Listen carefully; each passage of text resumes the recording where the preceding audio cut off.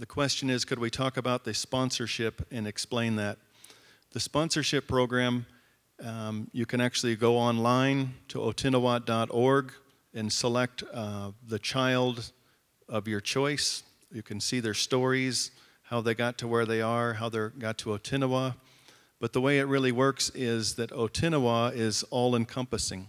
So as a child comes to Otino Waa, the first thing when they get there, they get new shoes, they get school uniforms, they get play clothes, they um, mosquito net, mattress, three meals a day. It covers all of their schooling. So um, the, the, sponsorship really takes care of all of that. And right now, um, typically a person would sign up for $35 to sponsor a child, and it actually takes four sponsors to provide $35 a month, or in total $140 a month for one child to be at Otino Waa and to receive all of those services. And that, of course, includes textbooks, it includes keeping the chemistry lab furnished, the computer lab up and running, maintenance around the property. So there's, there's um, a lot that goes into that, but the, the child really receives all of the money that is donated is based on the living expenses of the child. I think more importantly than that, there's a human connection with a real child. Um, these kids are invested in their sponsors. A real life story, we had Cedric standing here with us this morning, a child that we brought with us from Otino Waa. He's 19 years old. And in the lobby today, he met his sponsor that has sponsored him since he was a small child.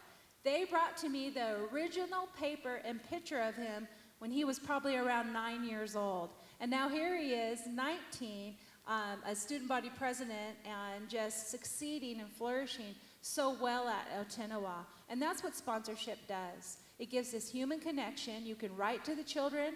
We have mail call every Wednesday.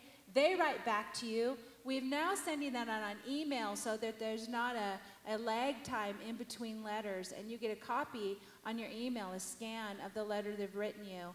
Um, but they get so excited. You can send them packages, and on Wednesdays, uh, they jump up to receive a letter or the package and they say, Thank you, Jesus. Because they know that someone cares about, about them. And this is not just some random person. They know their sponsors by name and they are praying for their sponsors. So it is a, it is a huge um, human element of what we do. And as Rory mentioned, uh, means our children, and that's how we look at it. It's not Rory and I caring for them alone. It's Rory and I with Jesus partnered with you that makes such a big impact on these children because they're our children and they're your children. Uh, Jesus said so. He said, I so love the world. And so we're so excited to be a part of that. Can I share a scripture really quick?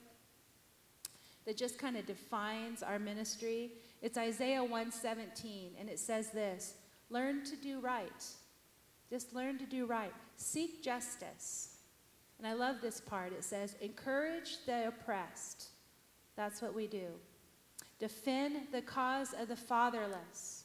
Each of us defends the cause of the fatherless together and plead the case of the widow.